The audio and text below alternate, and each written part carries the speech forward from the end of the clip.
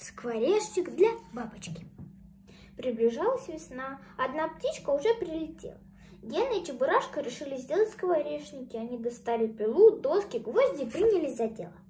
У Гены скворечник получился большой и тяжелый. Чебурашка попытался его поднять, но упал вместе со скворечником. «Ничего», — сказал Гена, — «пусть тогда это будет скворечник для собак.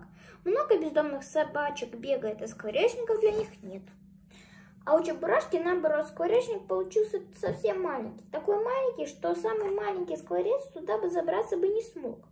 Ну ничего, сказал Чебурашка, пусть это будет скворечник для бабочек. Много бездомных бабочек летает, а скворечников для них.